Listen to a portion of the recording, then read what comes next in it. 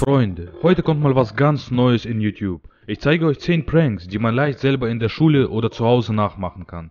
Jedoch sollte man so etwas nur mit Freunden machen, die Spaß verstehen. Und bei 20.000 Likes kommt ein zweiter Teil. Ihr entscheidet, ob ihr davon mehr sehen wollt. Los geht's.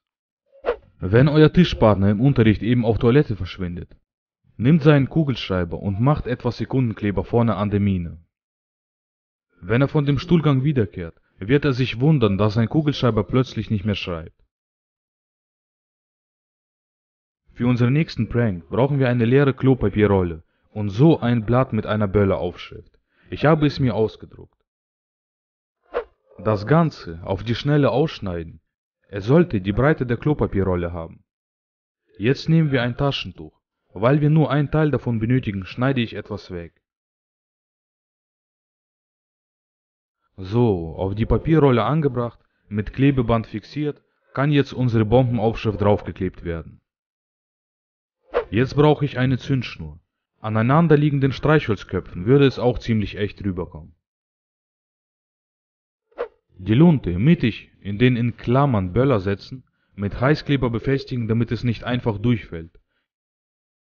Jetzt habt ihr einen auf den ersten Blick täuschend echten Böller. Wenn ihr die Lunte zünden werdet und es eurem Kumpel vor die Füße wirft, bekommt er einen Schock und rennt weg.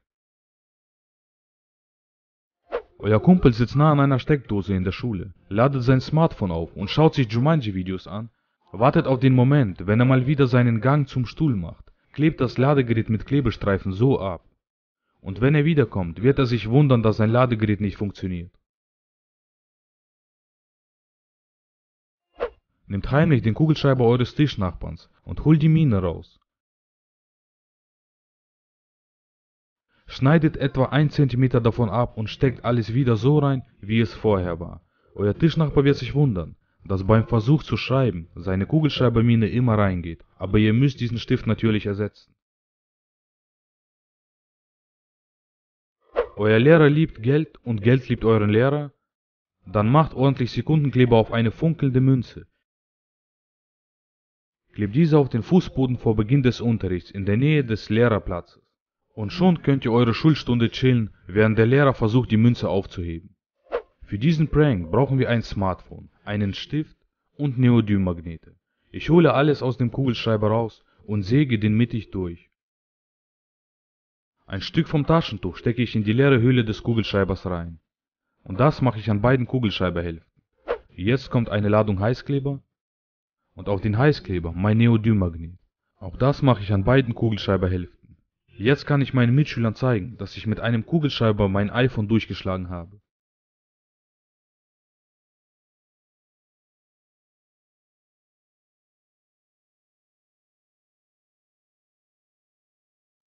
Für diesen Prank brauchen wir Klebeband.